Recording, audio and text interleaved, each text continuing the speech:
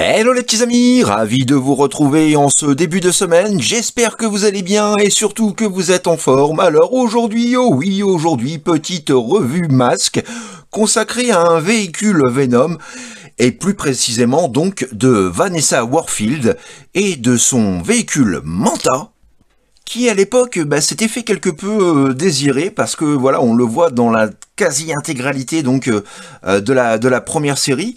Mais il va falloir attendre 87 donc avec la troisième vague de jouets seulement donc pour avoir ce véhicule. Allez savoir pourquoi. En tout cas lui il est sorti donc contrairement à Gloria Baker et Shark pour des rayons des raisons pardon d'ayant droit et du coup, bah, et du coup, je vais me faire un plaisir tout simplement donc de vous présenter ce petit véhicule qui, franchement, entre nous, ne manque absolument pas d'allure. Voilà. Donc, euh, bah, je crois que les, les, présentations sont faites, donc euh, on va pouvoir y aller euh, dès maintenant. Alors, que dire à part C'est parti, let's go Ouais, bonne revue les mecs Passez un bon moment avec ce chouette petit véhicule Ouais, passer un bon moment. Mais moi, j'aurais voulu savoir si Manta euh, était la contraction de, de. Parce que moi, soudain, ça m'a donné envie de me boire un petit Mentalo. Euh, non. Aucun rapport, mec. Ah bon? Pas même avec la chanson d'Eddie Michel? Ah non, non plus. Ce serait plutôt avec une menthe religieuse. Parce que, franchement, elle a vraiment quelque chose de ça. Bon, euh, si je vous dérange, vous le dites, hein. Non, non, c'est bon, je crois qu'on a fini de dire ce qu'on avait à dire. Ouais. Bon, moi, en tout cas, je vais aller me boire une menthe Alors, à tout à l'heure, les mecs. Ouais, bonne revue, à tout à l'heure. Tchuss, tchuss.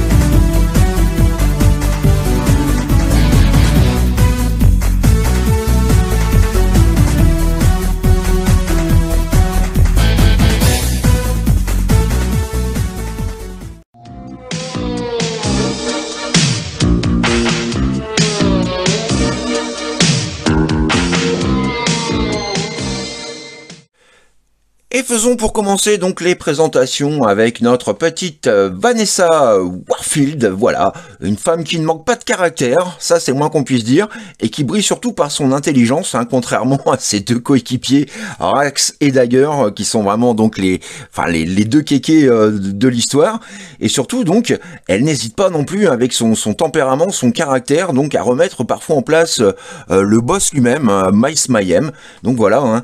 il faut savoir aussi qu'elle donne pas mal de fil à retordre aux agents masques. C'est vraiment voilà le personnage, un des personnages donc de la team Venom les plus, on va dire les plus dangereux. Euh, elle est voilà, elle est très très comment dire bah, pour faire court, on va dire que c'est un mélange entre une roqueuse et une punk, euh, d'où son accoutrement, bien que là elle soit en tenue, euh, voilà, en tenue Venom, en tenue d'attaque. Hein. On peut voir, alors normalement elle a une chevelure rouge, rousse, donc ça ne se voit peut-être pas trop sur la caméra, et elle est donc, ah là, elle possède une petite mèche noire, voilà, qui lui est euh, caractéristique. Euh, voilà donc un petit peu pour cette figurine hein, qui, bah, qui est plutôt, qui est plutôt pas mal. Alors à savoir qu'on la retrouve également donc pour les connaisseurs hein, dans la seconde série Racing, mais alors euh, contrairement donc à la, à la, plupart des autres agents masques ou Venom, euh, elle par contre dans la seconde saison donc conserve son véhicule. Voilà, elle n'en change pas, fidèle donc à sa petite tuture. Et puis voilà en termes de finition, on a des plastiques un petit peu brillants, des grands gants rouges, voilà, plutôt plutôt bien proportionné. Le visage est pas trop mal fait. Donc voilà, avec toujours les mêmes points d'articulation, hein, à savoir donc voilà les bras qui bougent, les jambes et les genoux, ce qui est amplement suffisant pour une petite figurine euh, de cette taille-là. Donc nous avons chez les gentils Gloria Baker, que voilà, qui n'était pas sorti à l'époque dans la première vague et que l'on doit donc euh, au créateur euh, Cliff Dagger, que je remercie encore au passage. Hein. si vous n'avez pas eu l'occasion de voir la vidéo de Shark, n'hésitez pas à regarder donc dans ma playlist qui lui est consacrée. Et puis et puis que dire d'autre? Donc bah une femme dans le clan gentil une femme dans le clan méchant. Et celle-ci, croyez-moi, donc voilà, ne fait pas de cadeau, elle a pas sa langue dans sa poche. Voilà, une véritable petite punk.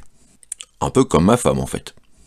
Donc à savoir qu'en plus d'être une femme fatale dans le civil, elle est aussi donc spécialisée en infiltration, en sabotage, en démolition et en espionnage. Voilà, rien que ça, ça lui fait un sacré petit euh, CV.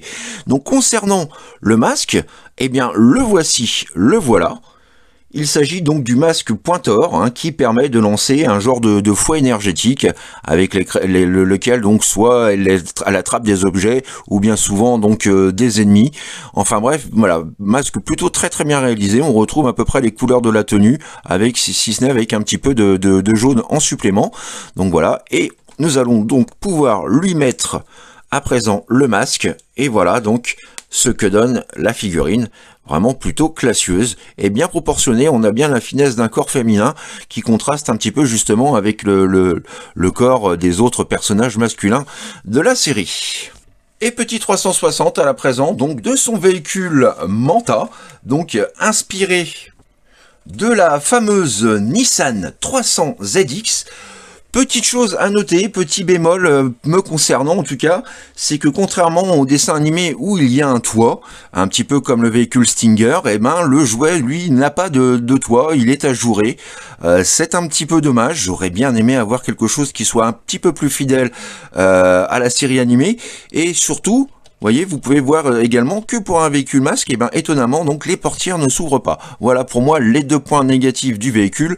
Pour le reste, globalement, c'est vraiment du tout bon.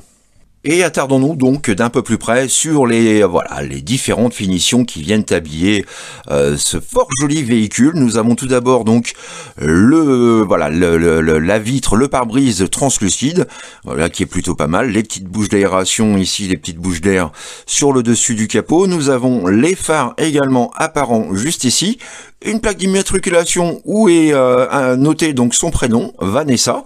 Voilà. De côté, voilà ce que nous avons. Quelque chose de très simple. La voiture est quand même vraiment fidèle à la Nissan. Hein, ça, c'est vraiment bien. Comme tout véhicule masque, hein, les finitions sont absolument à tomber. Pas de jantes euh, chrome euh, pour le coup, on a quelque chose de plutôt plastique teinté dans la masse. Euh, ceci dit, donc nous avons toujours, voilà, gage de qualité, hein, des pneus, des pneus gomme, des pneus en caoutchouc. Voilà un petit peu donc vu de côté, nous apercevons le volant qui tourne vraiment, une partie donc du tableau de bord. De dos, voilà ce que ça donne. Pas grand chose de négatif à dire. Euh, nous avons également donc un sticker hein, qui représente la partie arrière et les feux. Bon, le mien un petit peu vieilli, hein, c'est normal. C'est un véhicule qui a quand même été pas mal joué à l'époque.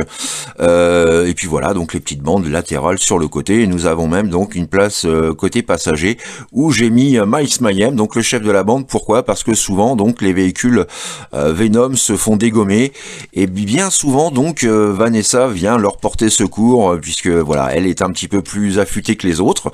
Donc voilà, souvent les personnages se retrouvent soit donc dans le véhicule, enfin avec le véhicule de Vanessa, ou soit donc avec l'hélicoptère de Mayhem. Et puis donc voilà, pour bien faire les choses, nous allons pouvoir donc y placer la figurine, à savoir qu'il me manque par contre la ceinture de sécurité. Voilà, je n'ai plus la ceinture de sécurité côté conducteur, je l'ai toujours côté passager. Hein, je sais pas si vous allez pouvoir euh, l'apercevoir.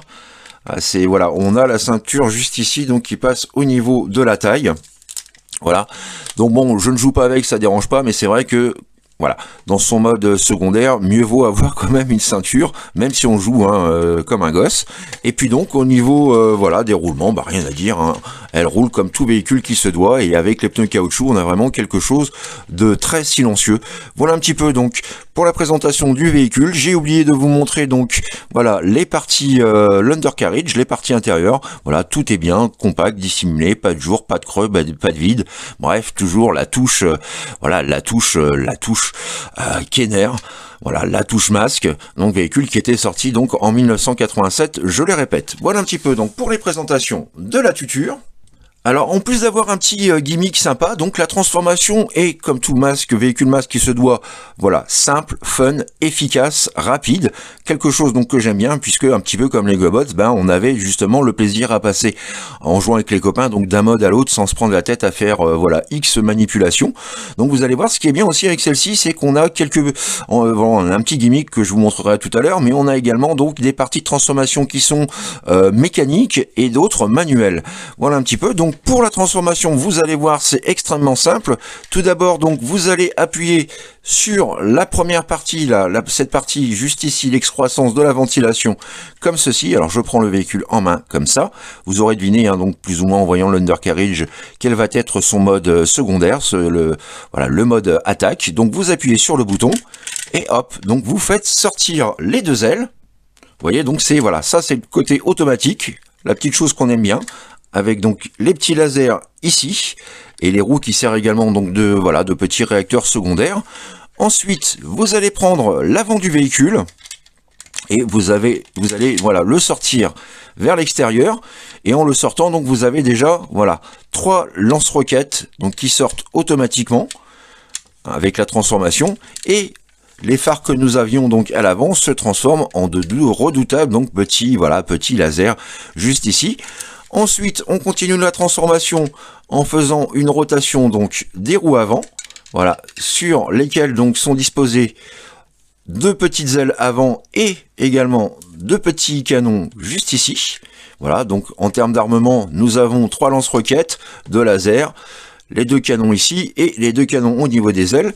Voilà, c'est vraiment euh, comme euh, Vanessa, hein, c'est vraiment un véhicule redoutable.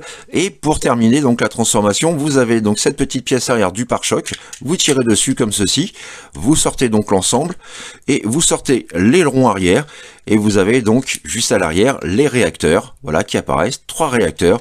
Et voilà donc notre véhicule Manta transformé.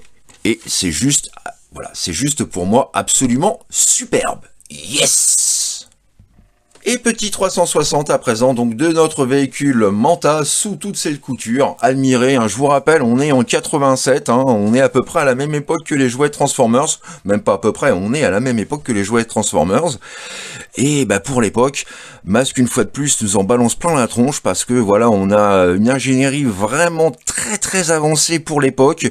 Euh, si on se réfère un petit peu aux technologies euh, de, voilà de ces, de ces, du milieu des années 80. Et voilà, donc tous ces mécanismes, avoir un véhicule un petit peu comme le Transformers ou le Gobots qui, voilà, sous ses euh, abords de véhicules classiques, ordinaires, lambda, cache un redoutable véhicule donc surarmé, blindé, puissant, voilà, de quoi vraiment se friter avec euh, bah, avec le, le, clan masque. Et bon avec toutes ses armes et son look hein, euh, vous devinez tout de suite que voilà euh, Vanessa qui a déjà du tempérament avec ça donc dans les mains c'est voilà c'est extrêmement redoutable donc parfois elle en fait bien chier à notre team masque et pour cause voilà un petit peu donc pour ce petit 360 de ce véhicule absolument merveilleux et petite cerise sur le gâteau, nous avons un petit gimmick donc caché. Alors cette fois-ci donc avec cette partie-là, ce second poussoir là, vous allez voir tout de suite. J'appuie dessus. Alors comme ceci. Mince, j'ai mal enclenché la, chose. Attendez. Voilà. Honte à moi. Voilà, vous avez cette partie-là, donc qui normalement permet d'éjecter le fauteuil. Alors j'ai du mal mettre la figurine, je vais revenir à ça tout de suite. Alors bon, du coup l'effet de surprise du coup est un petit peu foireux. Je suis désolé, mais je vais pas le couper, je vais le laisser pour euh, voilà, je vais pas, laisser euh, au montage, hein, parce que voilà, ce sont les aléas aussi euh, du semi-direct. Donc je reprends la chose. Voilà, vous appuyez ici et vous avez donc un siège éjectable hein, qui permet donc soit d'évacuer Mayhem ou soit tout simplement donc de virer un, potentiel agent masque ou un quelqu'un, voilà, un et l'envoyer balader, voilà, euh, dans la flotte ou n'importe où. Et voilà notre petite Vanessa qui continue son chemin. Bref, vous l'aurez compris, hein, un, véhicule qui ne manque pas euh, d'allure, de charme, euh, d'ingéniosité, et puis de petits gimmicks, hein, des, choses qu'on apprécie vraiment fortement. Alors pour la retransformer en mode véhicule, bah, c'est tout simple. Hein. donc vous rabattez à nouveau les roues, voilà, avant, comme ceci. Vous appuyez donc sur les trois petites roquettes et vous rentrez donc, euh, voilà, l'avant du capot. Donc les lasers redeviennent des phares. Ensuite, vous venez refixer les ailes comme ceci, jusqu'à ce que vous entendiez donc le système de locage et ensuite, donc, vous rabattez le petit aileron arrière, vous poussez et vous rangez le tout. Et voilà, notre, euh, notre voiture jet redevient une voiture civile, tout ce qu'il y a de plus normal. Et ça, c'est génial.